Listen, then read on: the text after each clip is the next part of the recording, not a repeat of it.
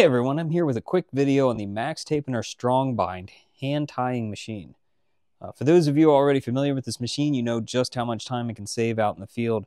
Uh, but for everyone else, I'm going to show you the uh, process for loading the Max Tapener Strong Bind and some of its features.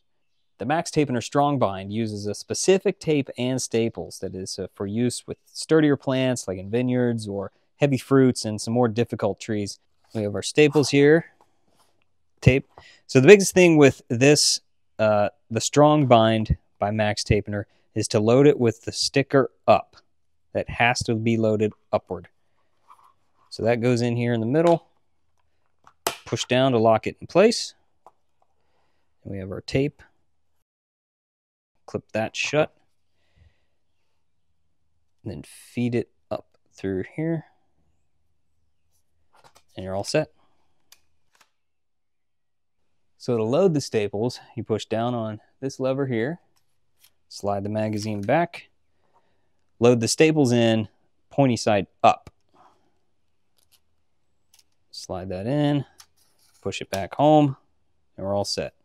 Again, if you do have a jam, uh, it's not very common, but it can happen.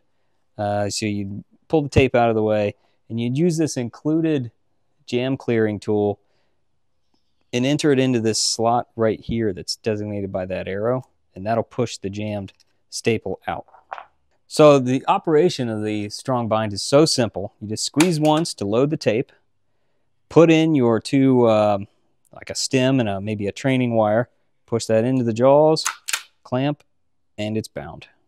Reset, push, clamp, done. And with the thing with this tape, the strong bind, is it, it won't stretch. So it's a lot sturdier, more durable than uh, other plant tie ribbons.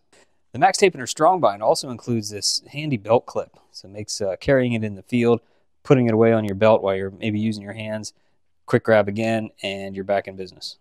So if you have any kind of plant tying or binding to do, the Max Tapener Strong Bind is must have to make short work of plant tying.